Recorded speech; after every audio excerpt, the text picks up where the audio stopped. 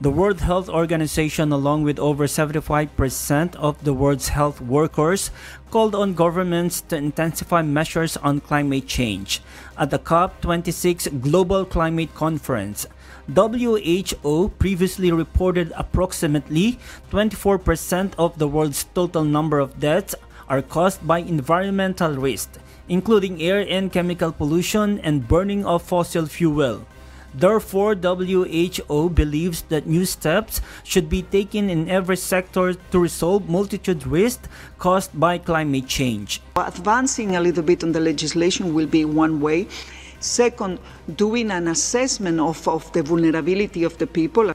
Climate change is also seen as responsible for a number of deaths in some of the poorest regions in the world attacking infectious diseases such as malaria and dengue. This call for action coincides with a letter backed by more than 400 health bodies representing doctors, nurses, and medical professionals.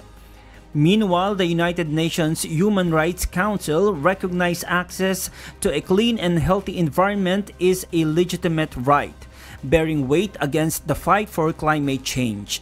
Rajan Bolivar, UNTV News and Rescue. We serve the people, we give glory to God.